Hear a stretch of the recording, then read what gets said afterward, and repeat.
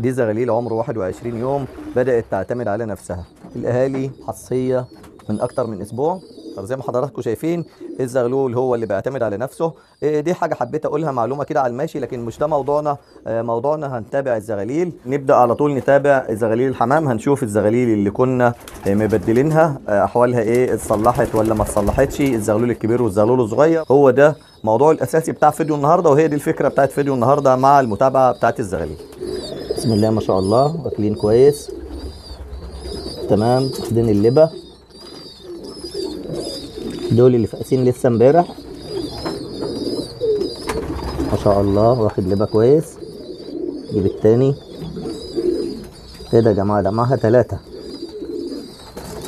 ما شاء الله. ده أنا ما كنتش أخد بالي إن هما تلاتة. ما شاء الله. فاجئت فعلا. دلوقتي أنا مش فاكر إن هما كانوا تلاتة. يبدو إن أنا حطيت بيضة ونسيت التالتة. طيب التالت ده صغير فعلا فعلا ده صغير.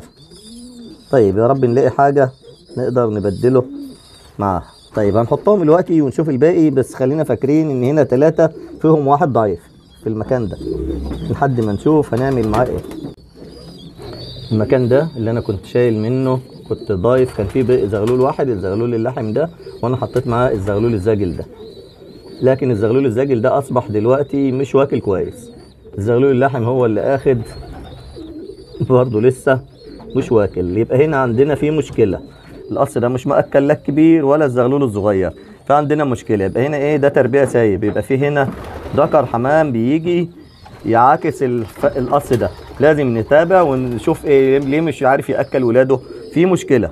يا إما الحمام ده تعبان القص أبوهم وأمهم تعبانين بس هم ما شاء الله شايفهم كويسين. يبقى في ذكر بيجي يعاكسهم. هنشوف برضو الموضوع ده. ما كانش هنحاول ننقل الزغلول الصغير ده أو نحاول نأكله ده هو الزغلول اللي عايز ياكل أهو ما شاء الله. شايفين؟ هو آه. طيب الآلة هتأكله كمان قدامنا أهو. بسم الله ما شاء الله. يبقى في ذكر بيجي يعكسهم وهو ال- الحمام استغل وجودي إن الذكر مش بيجي وحاول يأكل زغاليله. الزغلول ده اللي كان معاه الزغلول اللي هو الصغير اللي مع الزغلول اللحم اللي اديته لك دلوقتي.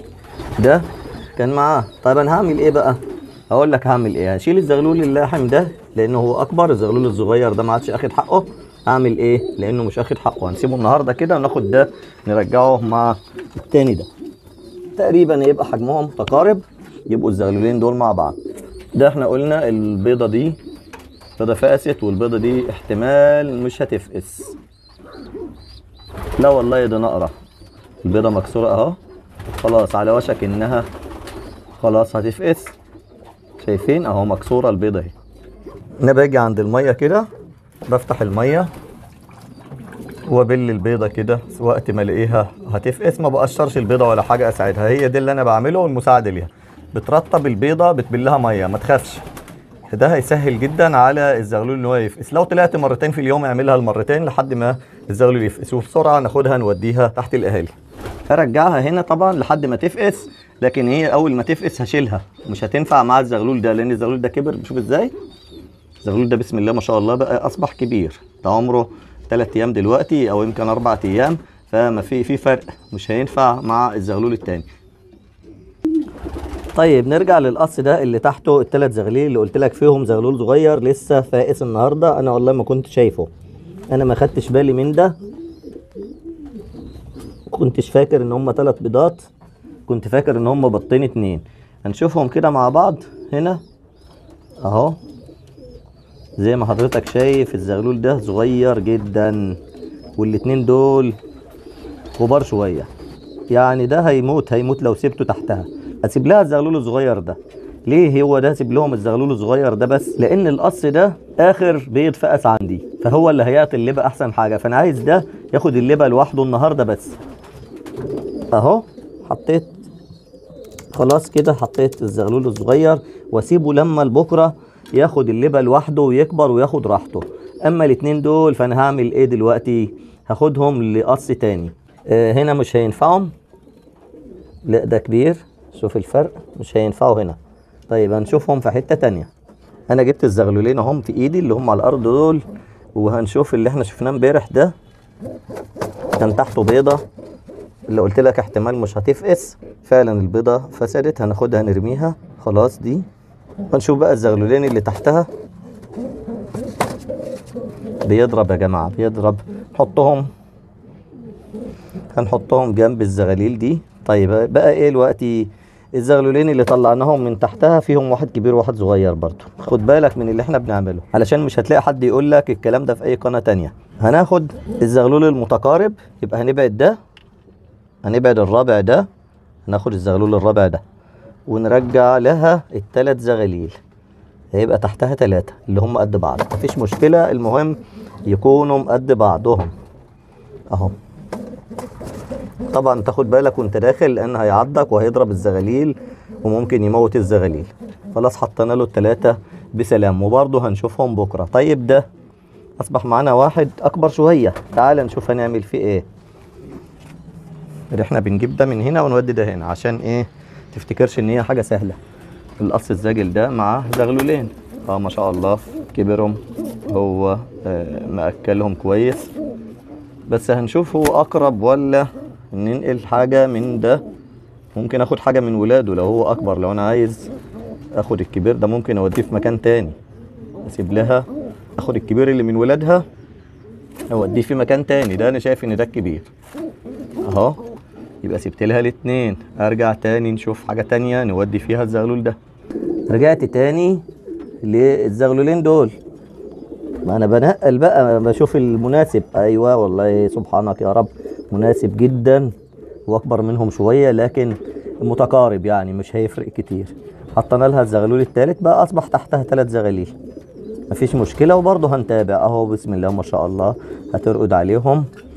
ومش هتاخد بالها. بقول لك التبديل ده لغاية عمر 10 أيام الحمام ممكن ما يعرفش الزغاليل. لكن بعد ال 10 أيام في حمام بيضرب الزغاليل ويموت اللي هو فقس النهارده ده. يبقى أنا أشيل الزغلول الكبير ولا أشيل الزغلول الصغير؟ هتشيل الزغلول الصغير. هقول لك ليه. هي الأهالي ما عاطينه لبه اهوت ما شاء الله فيه لبه بس قليل جدا لكن مش هينفع مع الزغلول الكبير.